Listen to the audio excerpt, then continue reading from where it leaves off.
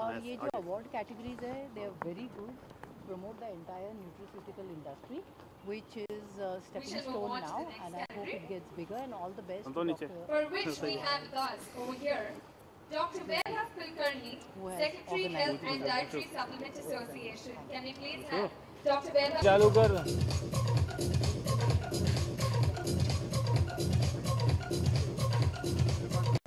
organizing committee of the SIMS for uh, keeping Uprise And D3 in the award goes uh, nutraceutical category.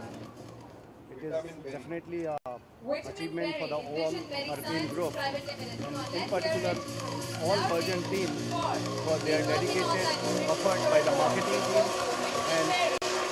Fieldfood for making Uprise D3 what it is today. Thank you very much everyone. Association of Diabetics Educators.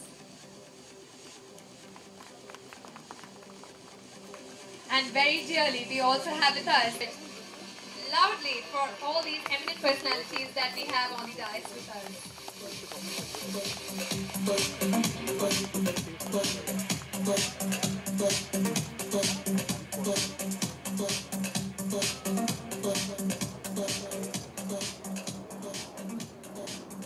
And ladies and gentlemen, this is the moment I would personally request all of you the cover page of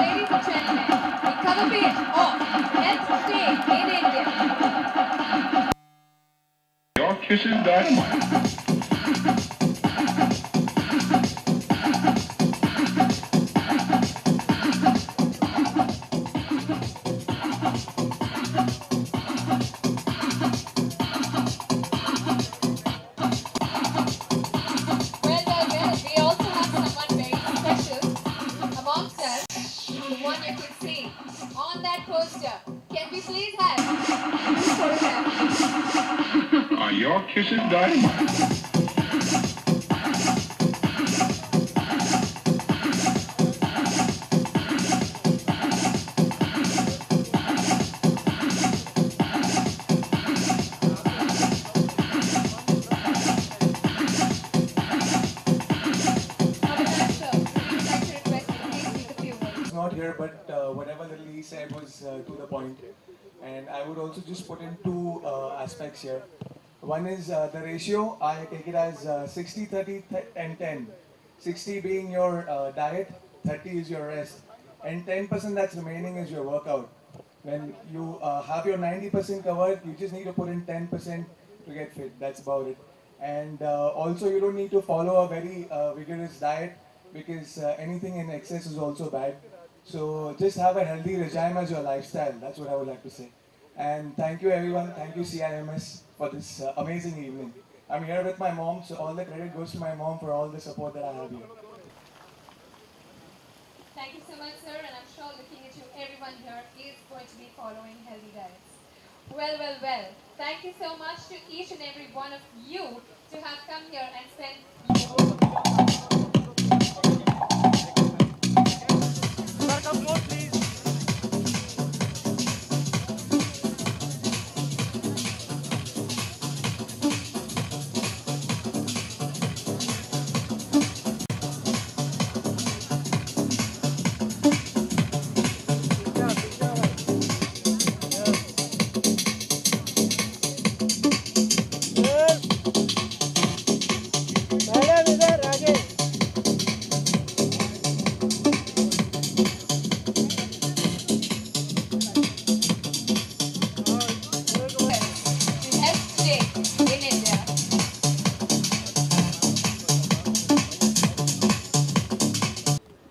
Sonu boom ऊपर थोड़ा खोल sir first of आपका नाम थोड़ा। हाँ। मैं- मेरा नाम डॉक्टर राजीव कोविल है। अ, मैं डायबिटोलॉजिस्ट हूँ। अंधेरी में दो सेंटर्स है डायबिटीज़ के। अ, इस तरह के health care nutraceutical awards nutrition के लिए बहुत ज़रूरी है हमारे कंट्री में क्योंकि से ज़्यादा जो हमारी तकलीफ़ें हैं वो डाइट रिलेटेड है न्यूट्रिशन रिलेटेड है और अ, हमें राइट चॉइसेस नहीं है क्या खाना चाहिए क्या नहीं खाना चाहिए। जो बच्चे स्कूल जाते हैं जो ऑफ़िस जाते हैं उनको चॉइस नहीं है। लोगों को चॉइस मिलना चाहिए कि क्या खाएँ और उनको फ़ूड हेल्दी फ़ूड का चॉइसेस मिलना चाहिए। और इस तरह के न्यूट्रिशन अवार्ड्स और हेल्थ केयर अवार्ड से एक तरह का एक मोमेंटम बिल्डअप हो जाता है जहाँ जो पूरे हेल्थ केयर स्टेक होल्डर्स होते हैं, वो सब साथ में आके सोच सकते हैं कि कैसे हम हमारी nutrition of India the nutritional health of India को इम्प्रूव करें। इम्प्रूव करने से आधी से ज़्यादा डायबिटीज़ ब्लड प्रेशर कोलेस्ट्रॉल मोटापा, ये सब तकलीफ़ें आधी से ज़्यादा कम हो सकती है, अगर हम न्यूट्रिशन और खाने पीने पे ध्यान दें। अगर बात करें किस तरह की आज कितनी खतरनाक बीमारी हो चुकी है इस पर ये काबू पाया जा चुका है? डायबिटीज़ ब्लड प्रेशर और कोलेस्ट्रॉल मिलाएँगे तो करीबन हमारी पचास से साठ प्रतिशत लोग इस इसके अ, क्या निशाने पे हैं।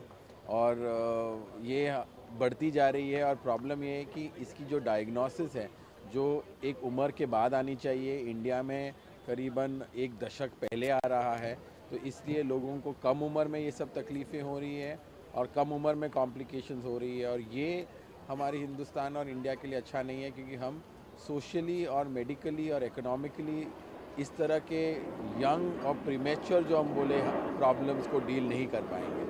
तो इसलिए बहुत ज़रूरी है कि बेसिक्स पे जाए न्यूट्रिशन एक्सरसाइज और न्यूट्रिशनल काउंसलिंग और एक्सरसाइज हमारे रोज़ के रोज़ ज़िंदगी में एक एक पार्ट हो जाए। ताकि हम अच्छे न्यूट्रिशन बच्चों को पहले से ही दें ताकि बड़े होकर उनको तकलीफ़ें न न सहना पड़े। मुंबई जैसे मेट्रो शहर में सबसे ज़्यादा डायबिटीज़ के पेशेंट देखे जाते हैं ऐसा क्यों? मुंबई में आप सुबह उठो तो आपको बस की परेशानी उसके बाद ट्रेन में की- परेशानी ऑफ़िस में जाओ ऑफ़िस की परेशानी वापस आओ तो तो खाने पीने की परेशानी तो Bombay is a completely alive city and a stressful city इसके वजह से लोगों को 24 घंटे में उनको 30 घंटे का काम है। ये स्ट्रेस होता है। दूसरी बात है कि हमारे यहाँ न्यूट्रिशन कुछ है नहीं। अगर कोई ऑफ़िस में है और उसको सही खाना खाना है, कहीं नहीं मिलता उसे। टाइमिंग्स हम नहीं रखते हैं। हम एक्सरसाइज नहीं करते हैं बॉम्बे में। हमारा डिनर्स और लंचेस बहुत लेट होता है। और हमारी कंजम्पशन ऑफ़ ऑफ़ फैट बहुत ही ज़्यादा है और जंक फ़ूड बहुत ही ज़्यादा है। ये सब वजह वजह से बॉम्बे में बहुत सारी तकलीफ़ है। आज के अगर इवेंट की बात करें डॉक्टर का पै- ये अवार्ड है बॉलीवुड अवार्ड तो होते रहते हैं। इसमें अलग से क्या है कहाँ कहाँ के डॉक्टर आए हैं और क्या इसमें? यहाँ से बॉम्बे से काफ़ी पूरे बॉम्बे के काफ़ी डॉक्टर्स है एसोसिएशन पार्टनर्स हैं की है डाइटिशियन की एसोसिएशन है मीडिया एसोसिएशन पार्टनर्स है। इस ये हेल्थ केयर अवार्ड से ये अ, हमें काइंड ऑफ़ अपॉर्चुनिटी मिलता है कि हम जो हम कहना चाहते हैं जो हम इंडिविजुअल पेशेंट्स को कहते हैं वो एक वाइडर ऑडियंस को आप जैसे लोग उसको पहुँचा सकें। ताकि जो पेशेंट्स जो जो जो जिसको तकलीफ़ है वो इधर थ्रू मीडिया या प्रिंट मीडिया या इलेक्ट्रॉनिक मीडिया उसकी तरह वो वो पढ़े ये सब न्यूट्रिशन और हेल्थ केयर के बारे में और, और थोड़ी सी अपनी ज़िंदगी में थोड़ी सी अगर वो चेंज लाता है बहुत फ़ायदा हो जाता है। एक आखिरी सवाल जो मैगी आजकल बंद हो गई दोबारा मार्केट में आ गई है उसके बारे में क्या कहना चाहेंगे आप? डॉक्टर की नज़र से। डॉक्टर की नज़र से मैगी में अ, मेरे हिसाब से तो कुछ प्रॉब्लम नहीं था जो। लेड लेड कहा गया था अगर वो था तो उन्होंने अ, उसको निकाल दिया है नेस्ले ने और अगर एफ़ एस एस आई को लेड कंटेंट ज़्यादा मिला था उस उसके प्रिपरेशन में उस वजह से निकाला गया था तो वो सही बात है। और आफ्टर रिपीटेड चेक्स अगर उसमें वो लेड कंटेंट कम हो गया है तो वो वापस लाना भी सही बात है। तो कोई उसमें कोई कंट्रोवर्सी है नहीं है सच thank you sir thank you Pushpa ji अगर बात करें आज इवेंट इवेंट में आए अब इवेंट के बारे में बात करें क्या हाँ, कहना चाहेंगे आप? आ, मैं यहाँ आई तो मुझे बहुत अच्छा लगा। इसलिए अच्छा लगा कि अगर इस तरह के प्रोग्राम्स होते रहें तो लोगों के अंदर स्वास्थ्य के प्रति हेल्थ के प्रति जागरूकता चाहिए और अगर हमारा हेल्थ सही है हम स्वस्थ हैं तो वही सुख है। वरना कुछ भी नहीं है। अगर हम शरीर में दस बीमारियाँ लेकर घूमते रहें तो हम क्या करेंगे? हम लाइफ का एंजॉय नहीं कर सकते। कितना स्ट्रेस रहता है एक आर्टिस्ट की लाइफ की अगर बात करें? आज सेमिनार में आप अटेंड किया क्या कहना चाहेंगे? मैं यही कहूँगी कि मुझे बहुत अच्छा लगा यहाँ आकर, क्योंकि हम लोग भी बहुत स्टेनिस लाइफ जीते हैं, भाग, दौड़ एक्टिंग सुबह से शाम हेल्थ के प्रति और समझिए कि हेल्थ के प्रति हम ध्यान ही नहीं दे पाते बट यहाँ आने के बाद मुझे लगा, नहीं, स्वास्थ्य तो बहुत ज़रूरी है, और स्वस्थ अगर हम हैं, तभी हम सुंदर भी हैं और कार्यरत भी हैं। आई मीन काम भी कर सकते हैं। Thank you